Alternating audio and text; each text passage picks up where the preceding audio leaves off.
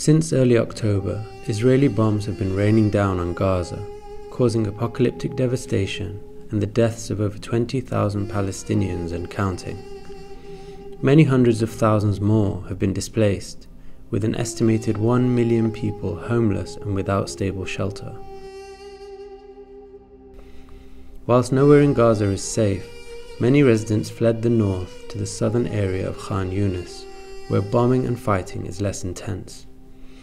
Here, makeshift refugee camps have sprung up, becoming temporary refuge for hundreds of thousands. Randa Hamouda left her home in the Jabaliya district early on in the war. أجينا هنا على منطقة الصناعة.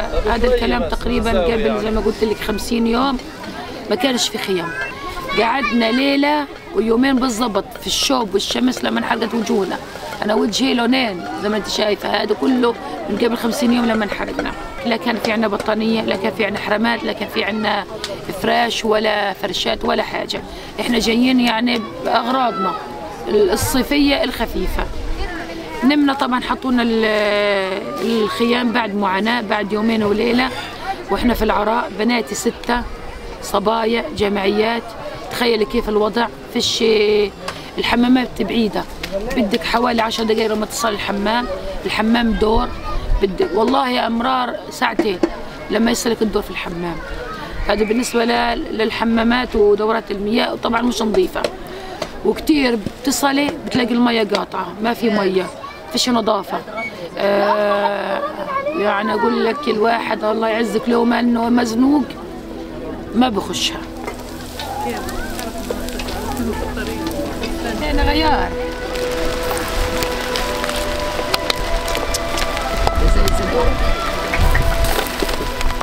Nearly 50% of Gaza's residents are children. This is Taysir Ali Dibba. His harrowing story of survival is common in the displaced camps of Khan Yunis. انحصرنا في المدارس انحصرنا ست أيام كنا نستنى المو... الشتاء تنزل عشان نشرب ميه لقيتها إيش لقيتها في سوبر ماركت هجمنا عليه لقيت دخلنا على السوبر ماركت بعدها بساعة ونص ساعة ونص. إيه صار طخ واحد أكل في كتفه طلق. وقرايب ضلوا في قلب السوبر ماركت. رحت شرحت بلوزته ورسمنا علم اسرائيل صغير ورحنا عشان نطلعهم. اجى ثاني يوم يوم الجمعة. إيه بدنا مية. كتبنا لهم بدنا مية على الفاضي ولا جابونا ولا حاجة. لقيت أختي وين طلعت؟ على الحمام فوق. طخة وين؟ في صدرها. استشفت أختي. وأنا طالع أجيبها الطخ صار يجي من وين ما كان. حك الطلق في, في بطني وأكل الطلق من هان وخش من هان. دفناها خلصنا. دفناها العصر بعد العصر. وصلنا عليها وبين المدرستين دفناها فيش فيش فيش الا هي لقينا شهداء في الشارع طخطخوهم وجبناهم من دار على الجور دفناهم في المدرسة Despite experiences like this being a dime a dozen, for displaced people there is no time to process or recover. Instead, people are busy with the urgent task of staying alive.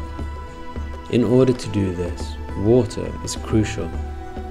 In the rare points where water is available, people have to queue in line, then carry water back, often across long distances, and manually. إنا من الفجر الله صلينا في الجامع وجينا وقاعدين هنا بنعبوا مية المية بتسلسل السلسل يعني دوبه فاتحينها سن يعني لو عب مية قوية كان زمان خلص كله خلص وروح. إيش أقول لك؟ حياتنا كلها رمل في رمل. قد ما بتنظفي إلا تلاقي في رمل. سواء في الصيف ولا في الشتاء. قد ما بننظف الجرادل عشان نعبي المي نلاقي ميه نظيفة ما في شيء. آه إسهال نتج فلونزا كحة سعال نزلات معوية اللي كنا نصبنا فيها. من كبيرنا لصغيرنا. المي الحلوة كانت مش موجودة مفقودة. كنا نشرب من مية البير اللي كانت هنا موجودة. طبعا هذه غير صالحة للشرب بس كنا مضطرين إحنا نشرب مش لاقيين غيرها.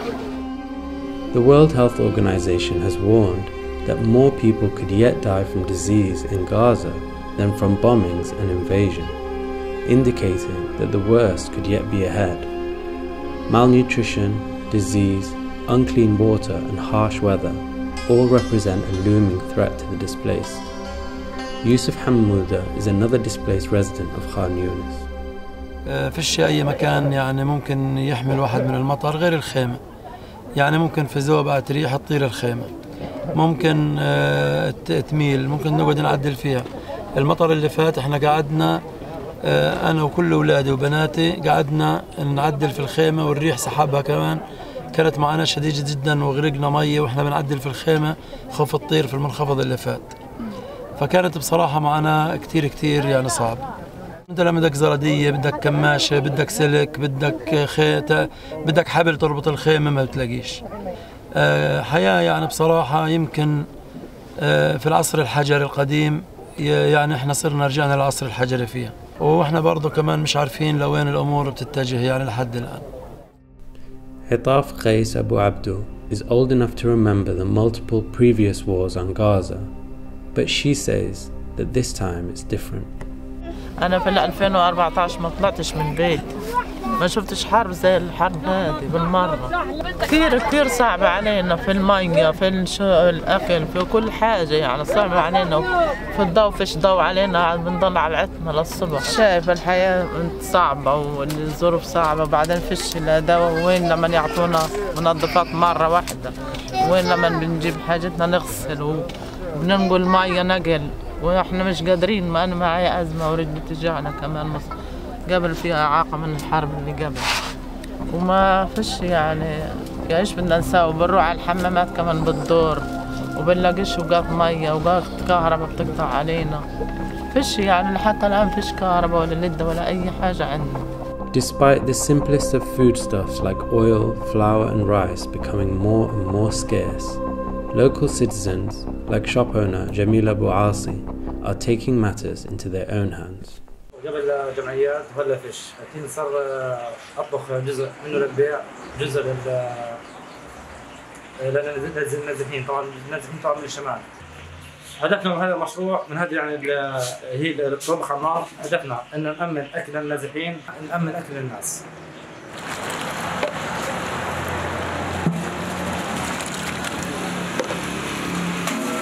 يعني طبعا كنا أربع أشخاص نطبخ الحين صار واحد هو أنا الشباب الثانية بيطلعوا من الصبح للمغرب. هذا يعملوا لنا الزيت أو الرز هذا قلت لك لك حاجة. 16 شيكل بالعادة. أو 15 اليوم 30 مش موجودة. تمام؟ كيلو حتى من حقه قبل. كان حقه شيكل الحين جاب خمسة حقه ثلاثة مش موجود. لكن الحمد لله مستمرين. ما شاء الله. الله لا طول شدة. ما شاء الله. حنضلنا مشغلين لآخر نفس فينا إن شاء الله. In the face of all these hardships, Palestinians seem not only to survive but to thrive, holding firm in the face of adversity and often with good humor. لامتى بدنا نضلنا في العجين؟ لامتى بدنا نضلنا في الخيمة؟ لامتى؟ خلي العمادي عايشة هناك في قصره وإحنا عايشين هنا في الخيمة. طلعنيش كمان أنا بعيدة نحن نساء جبارات.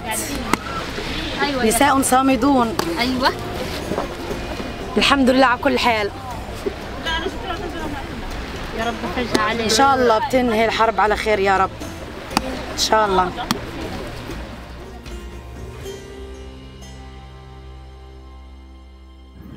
بسم الله الرحمن الرحيم. لا تصور شوي لا إله إلا الله. اشهد ان لا اله الا الله اصبر يا راجل اصبر